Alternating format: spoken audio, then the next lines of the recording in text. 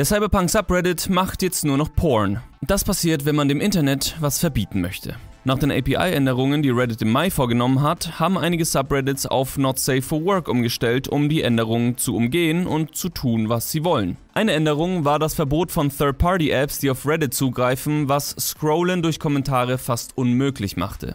Die Mods des Cyberpunk Subreddits haben nun auch auf Not Safe for Work geswitcht mit der Begründung, ja, das Spiel ist halt ab 18 und beinhaltet Nacktheit und Gore.